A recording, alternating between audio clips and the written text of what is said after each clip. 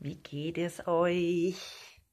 Ja, ich möchte kurz ein Video machen. Ich lasse mal das Licht an. Und zwar über die 144.000 Versiegelten. Das hat mich jemand gefragt und ich habe dann nachgeguckt, nach, äh, ob ich ein Video finden kann. Aber auf meinem neuen Kanal, also Wacht auf, ihr werdet verführt, habe ich gar keins gefunden. Und diesen Kanal habe ich jetzt zwei Jahre. Und vorher hatte ich ja meine deutschen Videos auf meinem englischen Kanal Great Deceptions of the End Times. Und da habe ich eins gefunden, das ja schon drei Jahre alt ist. Und deswegen habe ich gedacht, naja, muss ich mal halt wirklich ein neues Video machen. Oder es wäre gut, wenn ich ein neues Video machen würde. Und ja, ich bin sehr dankbar für diese Fragen. Und sie hat gemeint, 144.000 sind das nicht. Ja, äh, von den Juden. Naja gut, das ist eine leichte Frage zu beantworten, dass sie nicht 144 ist, sind nicht von den Juden, sondern Israel. Und vielleicht sollten wir gerade dahin gehen, meine Lieben, äh, wo das steht. Und ich wünsche mir auch, wenn ihr solche Fragen bringt, bitte sagt mir dann auch, ähm, wo das steht in der Bibel. Also gehen wir zu Offenbarung 7. Ja, und da steht dann ja eindeutig, ähm, dass er noch äh, welche versiegeln muss. Und zwar steht hier in 4 und ich hörte die Zahl der Versiegelten 144.000 Versiegelte aus allen Stämmen der Kinder Israels. Wichtig zu wissen, dass alle, alle Stämme der Kinder Israels, ja, wenn wir halt vom Neuen Testament ausgehen, von Paulus ausgehen, dann wissen wir, dass das wahre Israel von Gott, dass das alle Gläubigen sind, ob sie jetzt Juden sind oder Heiden. Aber diese Stämme, diese zwölf Stämme stehen halt symbolisch, ja, das ist wirklich symbolisch, für alle Gläubigen. Zwölf ist ja eine komplette Zahl. Also wir haben zwölf ähm, äh, ähm, Stunden, ähm, zwölf Monate. Ähm, ja, zwölf ist eine komplette Zahl in der Bibel. Und deswegen wurde diese, diese zwölf benutzt. Zwölftausend natürlich ist es noch kompletter. Und zwölf mal zwölf ja, sind ja 144.000. Wenn wir diese, das, diese Zahlen anschauen, das sind ja immer 12.000. Ja, jeder Stamm 12.000 und das ist auch etwas ungewöhnlich. Im, in der wirklichen wirklich im Leben kommt das ja nicht vor. Ja, es ist, noch nie vorgekommen, ja. Und deswegen kann man dann eigentlich auch sehen, dass es, dass sie hier äh, symbolisch auch stehen für alle Gläubigen. Unter den Stämmen wurden ja auch immer die gezählt, ja, die Heiden gezählt, ja, wenn sie gläubig wurden, ja. Und von daher sind sie da auch mit einbegriffen.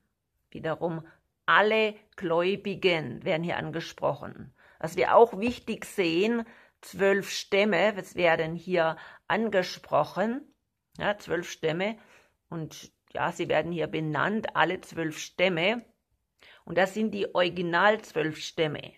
Als sie ins Heilige Land kamen, waren es eigentlich 13 Stämme, weil Josef hat zwei Teile bekommen. Das heißt, sein Stamm oder sein, ja, sein Teil wurde aufgeteilt äh, auf seine zwei Söhne.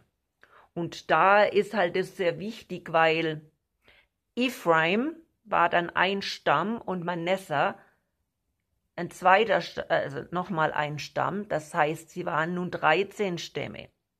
Und die Leviten, die haben ja kein Teil bekommen, also Landteil bekommen, weil sie ja die, ähm, die, die, äh, ähm,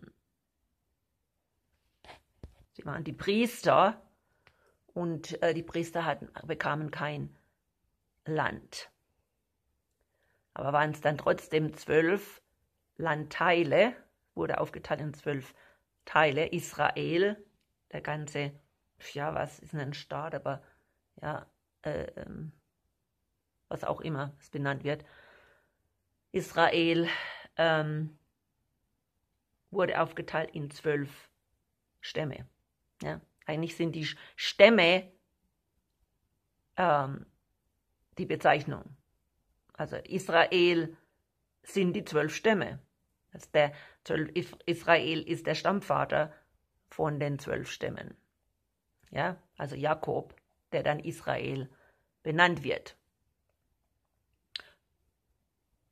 Und wenn wir dann hier schauen, ja, wie gesagt, das sind dann die Originalstämme, die hier benannt werden, aber wir sehen ja dann schon, dass zehn von diesen Stämmen nicht mehr existieren. Ja, eigentlich sind es neun.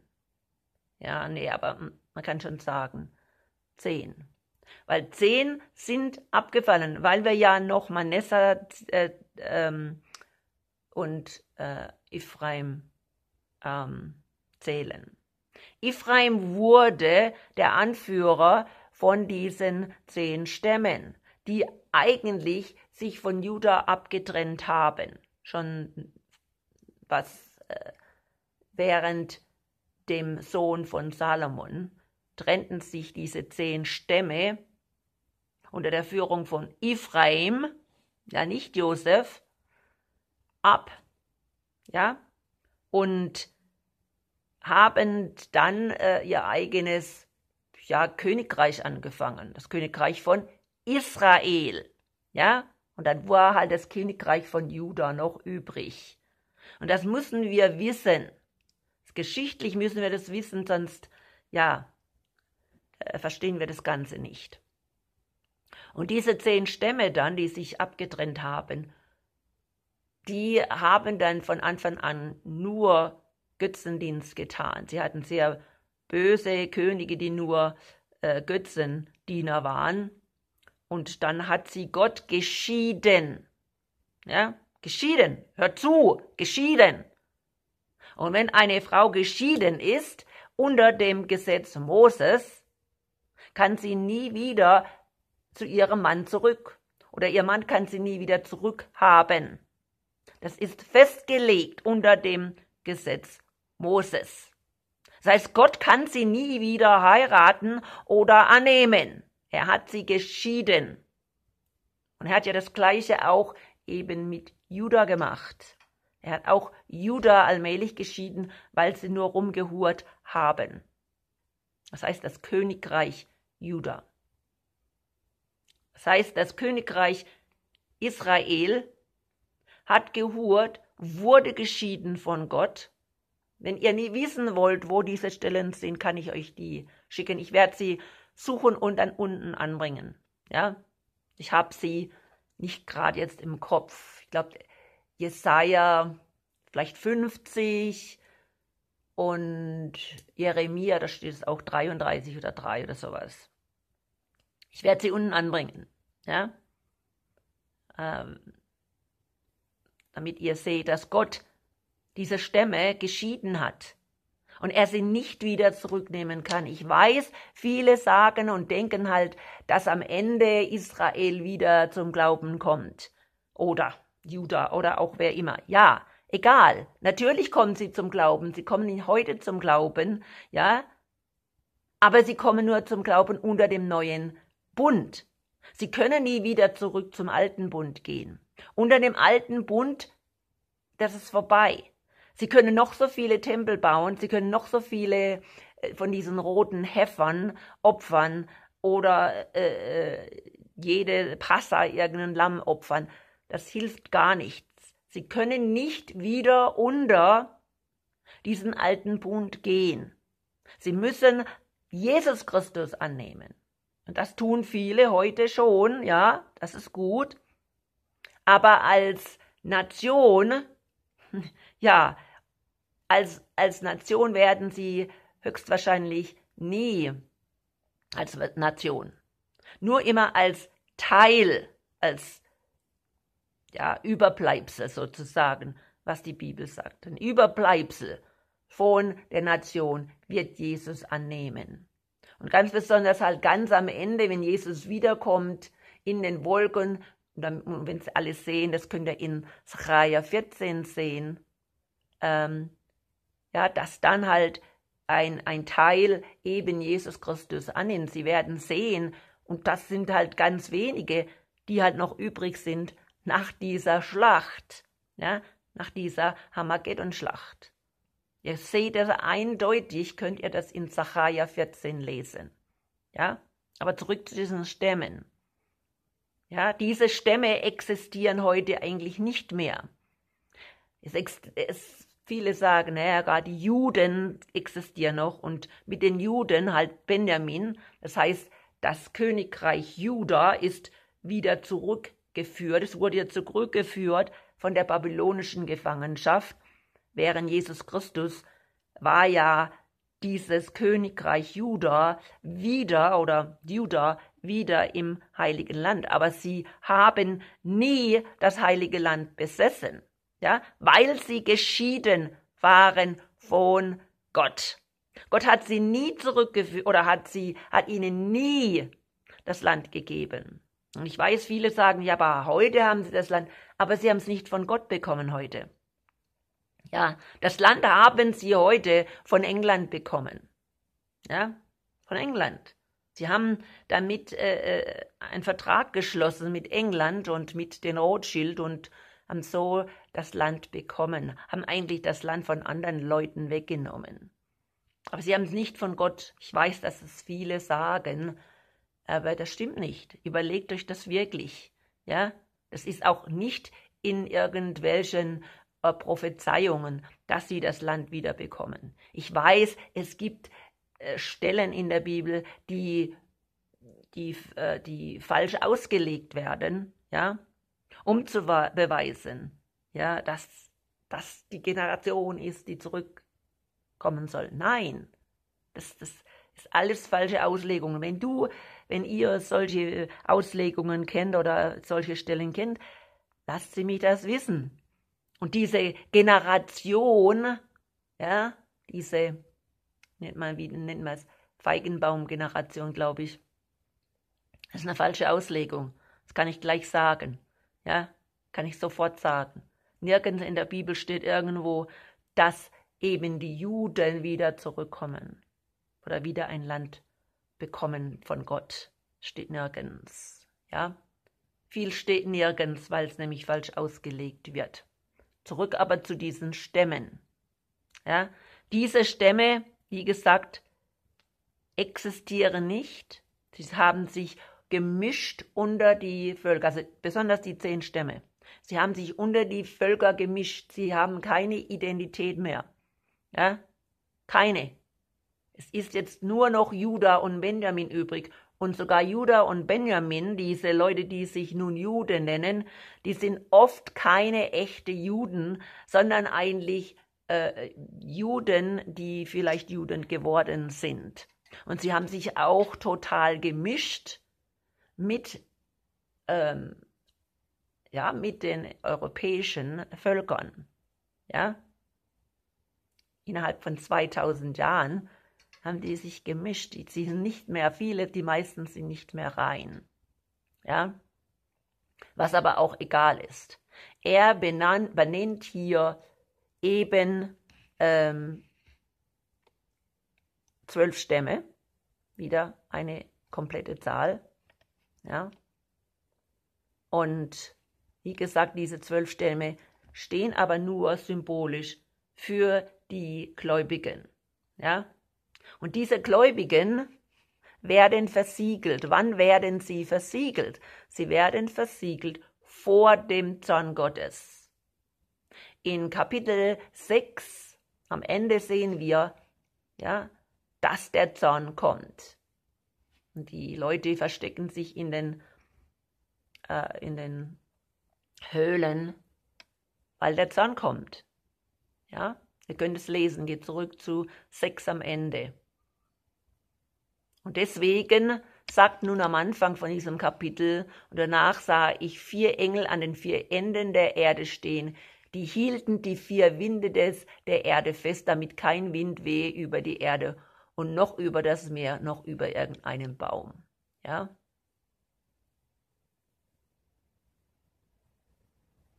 Und da steht dann am Ende von zwei, denn es geben, gegeben war, die Erde und dem Meer Schaden zuzufügen. Ja?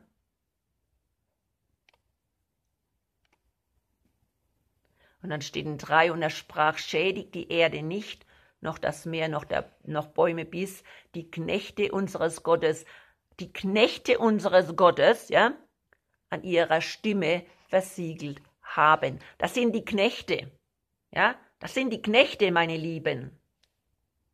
Und da müssen wir unterscheiden. Wer sind nun diese 41? Das sind die Knechte. Ja? Das ist ein Unterschied zwischen Knecht und Braut.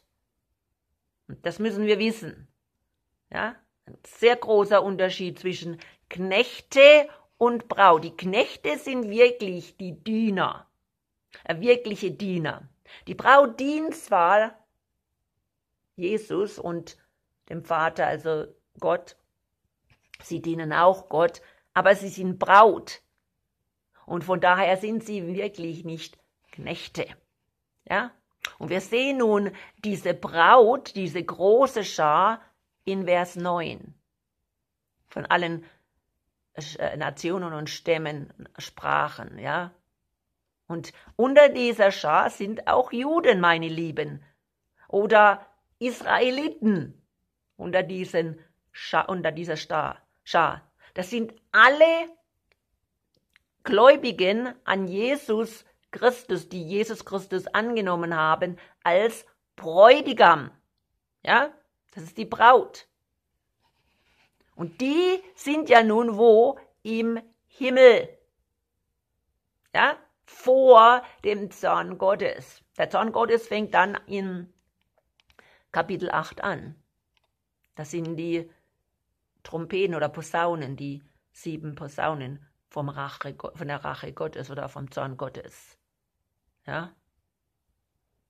Und diese Versiegelten, die wir hier sehen, ja, sie werden versiegelt und sie müssen jetzt durch den Zorn Gottes. Wo sehen wir diese wieder? Ich habe das nämlich auch gesagt. Wo sehen wir diese wieder? In, ich glaube, neun, neun oder zehn. Ja, ich gehe mal zu 9, ganz schnell. Da sehen wir die ähm, wieder. Und zwar unter dem, ich glaube, fünften Siegel. Fünfte Engel stieß in die Posaune. Ja. Und da wurde dann der Schlund geöffnet zum, vom Abgrund und da kamen diese komischen Tiere heraus, Skorpionen, die aussahen wie Skorpionen, ja. Und wo steht das mit dem Siegel? Habe es jetzt gerade gesehen. Und sie haben diese Leute gestochen, ja, und sie haben, sie wurden geplagt fünf Monate lang. Ja, ich gucke jetzt gerade, wo es steht, dass die, das, die, ähm ich halte mal mein Video an.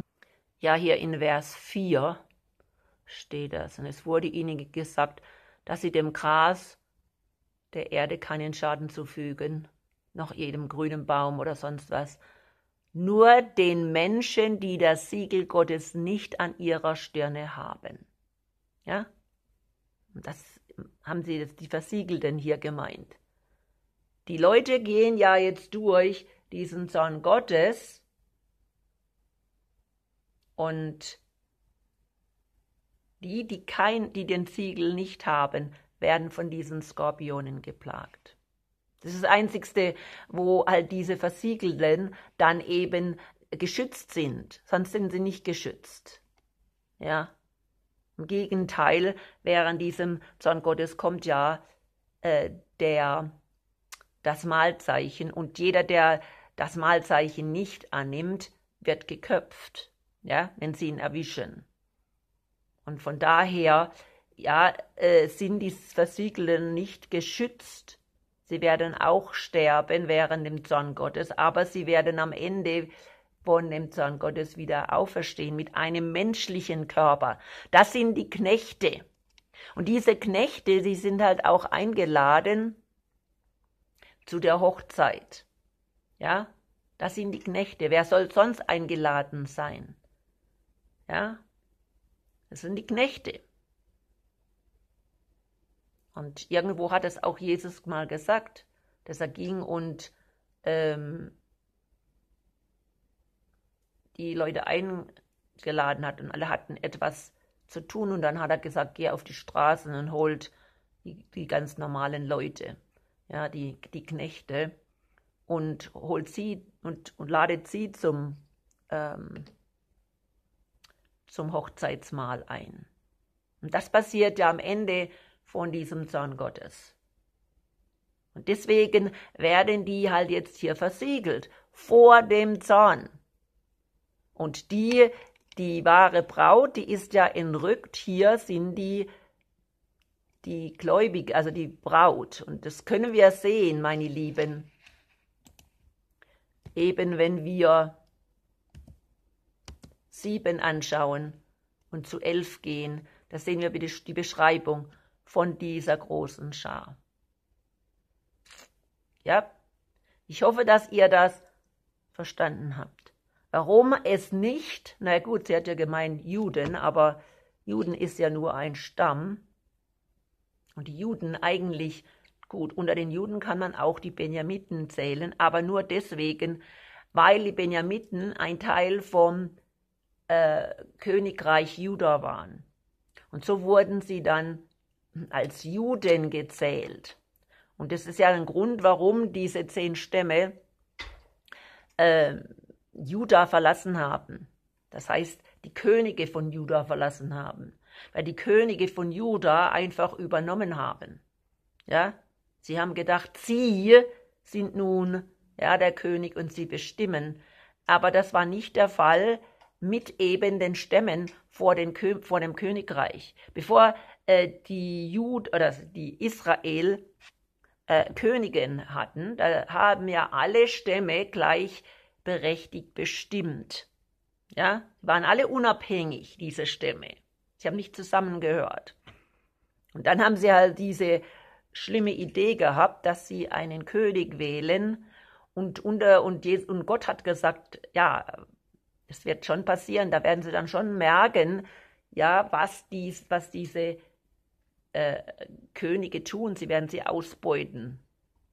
Ja, und dann eben haben sie gesagt, und jetzt haben wir Schluss, jetzt haben wir genügend, und dann haben sie sich getrennt. Und sie haben natürlich wieder ihre eigenen, ihr eigenes Königreich Israel ähm, und ihren eigenen König sich ähm, geholt. Und das war natürlich auch nicht gut. Sie sind nicht zurückgegangen zum Original äh, wie es Original Gott vorhatte. Dass er der König ist, Jesus Christus, sie müssen auf Jesus Christus warten. Gott ist ihr König.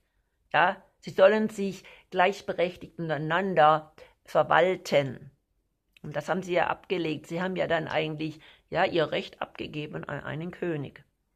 Ja, aber das ist nur zusätzlich etwas zu dieser Geschichte, die man eigentlich wissen sollte. Man muss die Geschichte von Israel oder von den Juden oder was auch immer wissen. Dann müsste man eigentlich wissen, dass Gott sie seit der Trennung, seit der Scheidung, sie nicht mehr zurückgeführt hat und er wird sie auch nicht zurückführen. Ja? Die Zeit der, der, Israel, der Hebräer ist vorbei. Schon 2000 Jahre ist die Zeit der Hebräer vorbei. Und der alte Bund ist vorbei. Der existiert nicht mehr. Leben nun unter dem neuen Bund auch die Juden. Und wenn sie diesen neuen Bund nicht annehmen, wird sie Gott ablehnen. Und ja, er hat sie ja abgelehnt. Und sie haben auch jetzt natürlich die Wahl, das anzunehmen. Aber sie können nicht zwei Herren dienen. Ja, viele der Juden, die, die jetzt äh, Messias annehmen, ja, ich habe immer das Gefühl, sie dienen trotzdem noch zwei Herren. Ja, sie dienen trotzdem noch Israel, dem Staat Israel oder dieser Idee vom, vom ersten Bund. Ja, das, das geht nicht. Sie, sie können nicht mehr alter Bund äh, verherrlichen und auch noch sagen, wir gehören Jesus an. Der alte Bund ist weg. Und sie müssen wissen, dass das Königreich nun, das Königreich gehört Jesus, dem Messias, und nicht äh, den Juden oder Israeliten oder was auch immer sie sind. Also, meine Lieben, ich komme zum Ende. Lasst den Heiligen Geist euch leiten. Ich möchte dieses Video nun jetzt als erstes anbringen. Ich habe schon ein anderes gemacht, aber äh, es war wichtig, dass ich das vielleicht auch mache, weil ja, wie gesagt, diese Information äh, ist wichtig. Also, lasst den Heiligen Geist euch leiten.